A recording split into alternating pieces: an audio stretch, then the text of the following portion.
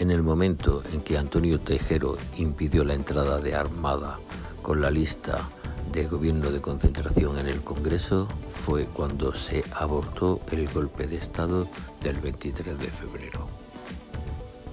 De ese plano de 23 de febrero, Alfonso Armada era el elefante blanco.